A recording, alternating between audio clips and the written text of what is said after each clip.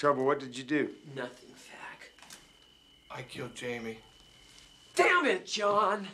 He didn't exactly kill her. It was an accident. Oh, I killed a girl once. It was no accident. Put the gun right to the back of her head, blew her brains right out the front. I was in love.